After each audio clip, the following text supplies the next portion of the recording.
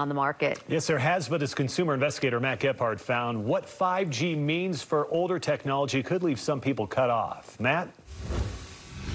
Yeah, Mike, millions of devices, everything from cell phones to home alarm systems, run on old cellular technology, 2G, 3G, 4G, and some of that technology is about to be shut off. From keeping in touch to calling for help when seconds count. We count on having reliable cell phones. But before too long, a lot of old cell phones are going to be shut off. That announcement comes from the Federal Communications Commission. Mobile carriers are shutting down their 3G networks. As a result, many older cell phones will be unable to make or receive calls and texts, including calls to 911 or use data services. This will affect 3G mobile phones and certain older 4G mobile phones. When might you lose service? Well, that all depends on your carrier.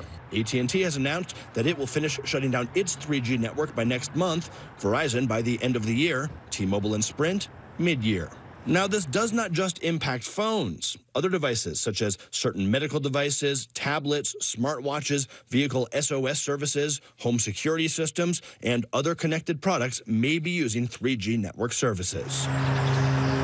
Bottom line, if you have an old phone or other connected device, you need to contact the company or check out their website to see whether you may be impacted. And the, and the FCC says it is important to plan now so you do not lose that connectivity, including the ability to call 911. If you got something you want the KSL investigators to look into, let us know about it. The number 385 707 6153.